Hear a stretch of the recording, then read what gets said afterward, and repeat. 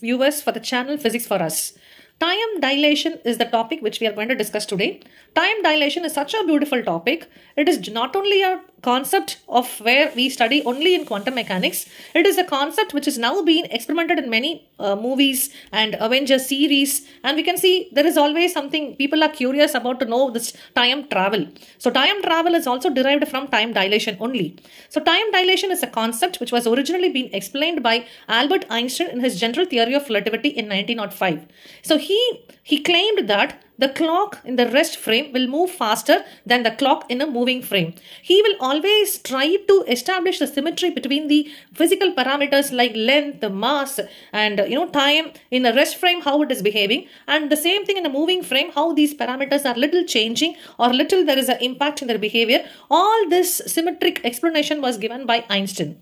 So according to his theory, let us suppose that this black pen is the clock at rest, and this orange pen, this is an orange clock which is just simply keep moving. So when you see this orange clock, it will run very slow. I will not say very slow. It runs slower when compared to the clock at rest. So that is the concept. So if this black colored clock is going to be the earth and this orange colored clock is going to travel in space, then we say that in space it can be only one day when you measure the time. But whereas for the earth it is going to be some million years. This is time dilation. So there is a difference in time when it is measured in the rest frame and it is measured in a moving frame. This is called time dilation. And as you all have watched the movie, the very popular movie Interstellar, where they have explained this time dilation concept. The hero of the movie travels to the space and he says that when he's in the uh, verge of a black hole, of the wormhole, so inside the wormhole or a black hole, we know that the laws of physics are not going to obey. So it is a key plot of the movie is surrounding by this time dilation. In the surface of the black hole, one hour is equivalent to seven years on Earth due to time dilation. The hero of the movie has to undergo the space travel, and when he is leaving to space, his six years old daughter will be only like in the six years. But after he returns, he can see his own daughter lying in a dead bed, and she's more aged, she's like a grandmother, she will be in her last breathing phase. So means that several hours in the space is equivalent to so many years on earth. So this quantity actually differs from you know uh, from our conception only. So it is like in vedic period they say that yugas they, they say something like uh, yugas and uh, muhurtas they calculate the time how we calculate the time in minutes and seconds. So they calculate the time accordingly so if we see in the movie Interstellar, the physicist by name Kip Thorne, he collaborated in making the film and he explained this scientific concept in his book called The Science of Interstellar. So there is also time dilation being explained in a series by name Doctor Who.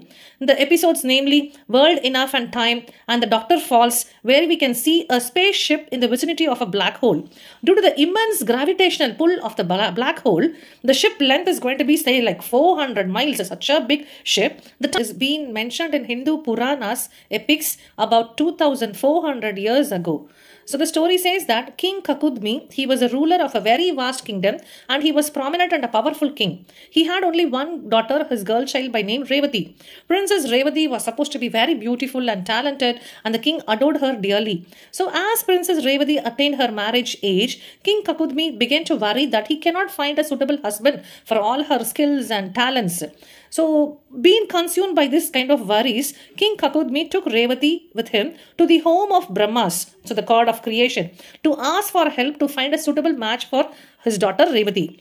Upon reaching the Brahmalok, they waited patiently because Brahma was listening to a musical performance. So they had to wait for a few couple of minutes. Finally, when King Kakudmi got his chance, he bowed and he made the request that he wanted to find a suitable husband for his daughter. So the king, Brahma said that the people you know, the potential suitors that you had in your mind for your beloved daughter, by now they would all have died and passed away. And so have their grandson and their granddaughters and all. So Brahma then goes on be explaining time runs differently on different places of existence. During the time King and Revati had waited to see Brahma, roughly 27 Chatur Yugas, which is almost approximately 113 million years, had passed on earth. Everything that Kakudmi had owned, his family, his treasures, would have vanished with this time. The king and his daughter, who were really shocked and with sorrow, they were pleading to Brahma that some solution had to be brought for this. Brahma had promised that you find Balarama, the brother of Lord Krishna, and he will be the suitable husband for your daughter. On returning back to earth, king and the Revati, they found everything was different from the time they left. The landscapes, the people, and everything had changed. So somehow the king managed to find uh, Balarama, the brother of Lord Krishna, and who later accepted Revati as his wife. So this is a very, uh, it's a very story. Some people claim that this is only a story, this is only imagination, but in every part of Hindu Vedas, this has always been written. So even you will be like very surprised when I say in Nammalwar Vedas also, there is a mention on time travel. There is a mention on, there was a spaceship which Krishna had used, which was traveling which was traveling with the speed of light. It was traveling even faster than speed of light.